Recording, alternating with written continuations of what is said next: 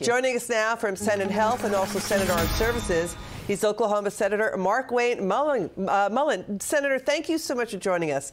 Okay, the Republic. It's good to see you again. The Republican majority in the House is getting slimmer by the day. It's now 217 to 213. Republican uh, Congressman Gallagher is going to leave soon in a few weeks. What do you think of what's going on in the House?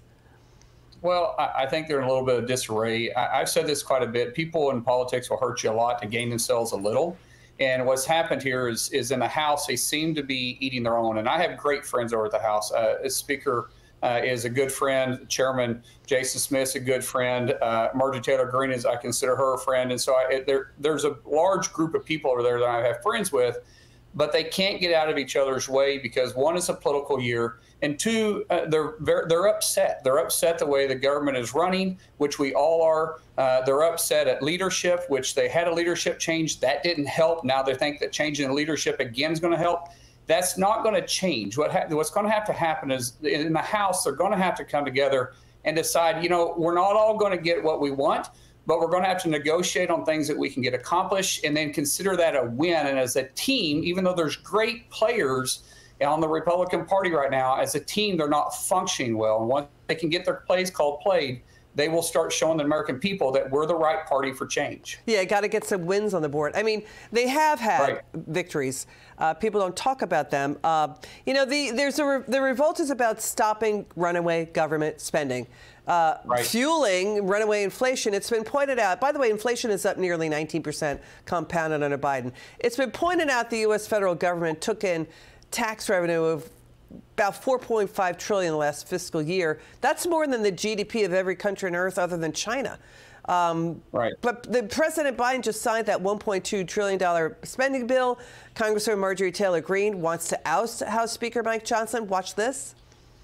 What I want to do is try to make sure the American people can win at the end of this rainbow. This bill has now been passed. We're spending money that we don't have. We're going to rack up more debt. I yeah. disagree with that. I want to focus now on securing the border of the United States. We are barely hanging on to our republic, a nation in debt with over $34 trillion in debt. And we cannot have a Republican Speaker of the House that is willing to do the bidding of Chuck Schumer. Republican voters want fighters in the House of Representatives to fight like President Trump, and that is exactly what I'm doing.